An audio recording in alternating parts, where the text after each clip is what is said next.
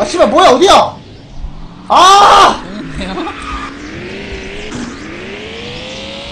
아 씨.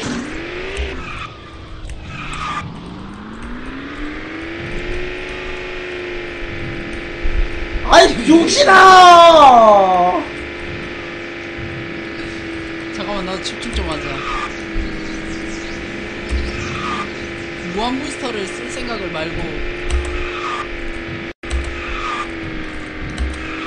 가자 안전하게 일단 나는 지지만 하는 게 되잖아.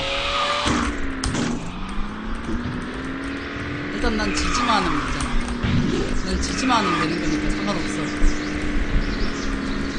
1점이든 2점이든 내가 이기기만 하면 되는 거고 거기서 2점을 얻는다면 나는 완전히 땡스를 잡은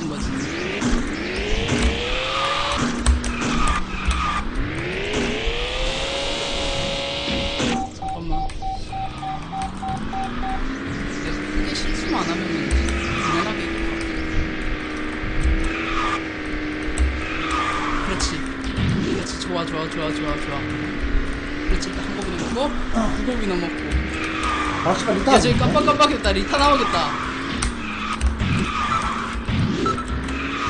잠깐만. 잠깐만. 잠깐만, 리타 나올 수도 있겠는데. 저 2점 먹을 필인데. 오!